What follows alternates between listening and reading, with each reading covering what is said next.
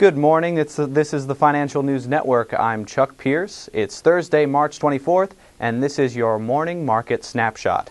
At this hour, U.S. equity futures are up. Overseas, the Asian markets increased, while the European markets are higher. In the headlines this morning, Kinross Gold announced that it sold its approximate 8.5% equity interest in Harry Winston Diamond consisting of approximately 7.1 million Harry Winston common shares on an underwritten block trade basis for gross proceeds of $100 million. And Raytheon raised its annual dividend by 15% to $1.72 from $1.50. Also, Silver Wheaton reported 9% increase in attributable reserves. And finally, IMAX Corp announced a 75 theater joint revenue sharing agreement with China's Wanda Cinema Line Corporation. For more news updates, stay tuned to the Financial News Network. I'm Chuck Pierce.